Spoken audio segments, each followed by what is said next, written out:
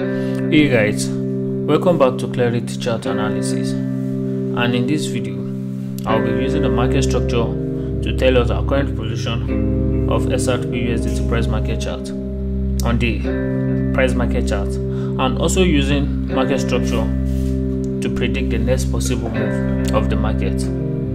But first guys, if you're new to this channel, please subscribe, like and put on the notification to be notified anytime I drop an update on NM coin. So guys, on our daily time frame, which is our major structure, the most recent break of structure we saw was a break of structure to the upside. And guys, we're expecting a pullback. Are we on a pullback phase yet?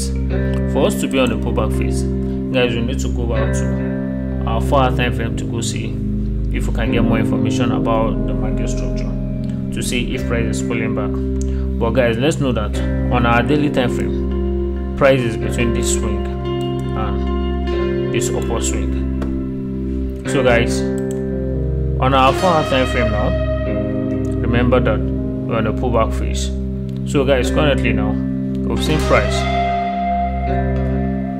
pulling back to another lower low which is like an internal structure. But guys price has not actually broke any structure on our 4 hour time frame. So guys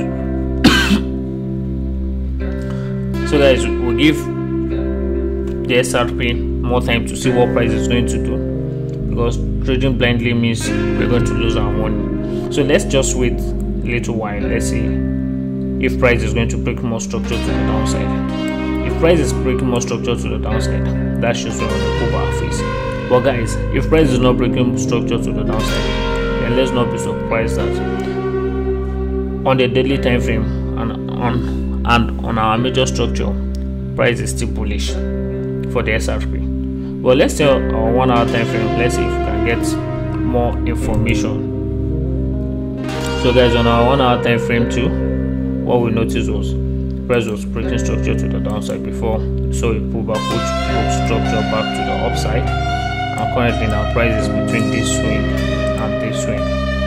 So guys with more time we'll see what price is going to do. But if price should take out this lower swing which is the same thing with the 4 hour time frame that shows that we're still on the pullback phase. And price can even pull back to this lower swing of our daily time frame. But if price is not taking it out then let's not be surprised that price will continue breaking more structure to, to the upside telling us that XRP is still bullish. And we can thank you guys for watching this video. Please subscribe like and put on the notification to be notified anytime i drop a new video